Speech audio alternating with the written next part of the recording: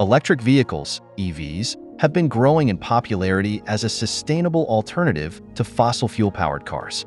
However, like any emerging technology, EVs pose specific challenges and risks, especially during natural disasters such as hurricanes. These severe storms not only threaten lives and infrastructure, but also introduce complications for EVs, ranging from structural damage to electrical hazards. Flooding is a common consequence of hurricanes, and electric cars are particularly vulnerable to water exposure, which can damage their high-voltage batteries. Unlike combustion engine vehicles, EVs rely on large lithium-ion batteries, which, if submerged, can short-circuit and potentially catch fire or explode. Salt water, often present in coastal areas, worsens the situation by increasing electrical conductivity, amplifying the chances of catastrophic failure. Even after the water recedes, EV batteries may ignite hours or even days later, posing continuous danger to rescue teams and nearby infrastructure. If a lithium battery catches fire, the resulting fire is extremely difficult to put out. Unlike a conventional fire, high-capacity batteries can experience thermal runaway, where a damaged cell causes a chain of chemical reactions in neighboring cells, fueling the fire.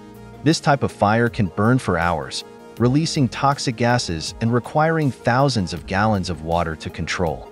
Hurricanes often destroy power grids, leaving entire cities and regions without power for days or even weeks. For those who rely on electric vehicles, this poses a major problem, as without electricity, there is no way to recharge the vehicle.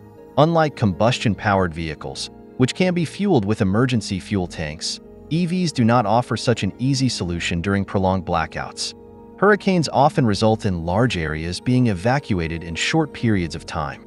The limited range of electric vehicles can be a problem in emergency evacuation situations, especially if charging stations along the way are unavailable or damaged.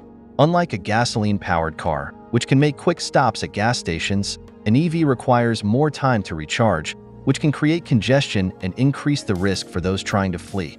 Insurance companies and repair shops also face unique challenges with electric vehicles after hurricanes. Assessing damage to an EV is more complex than it is for traditional vehicles, as a poor inspection can miss battery failures that will manifest later. While electric vehicles present challenges in natural disasters, there are strategies that can help mitigate these risks.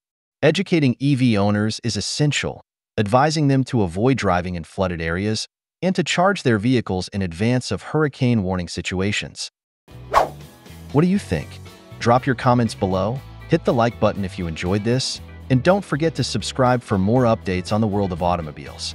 Thanks for watching, and I'll see you in the next video.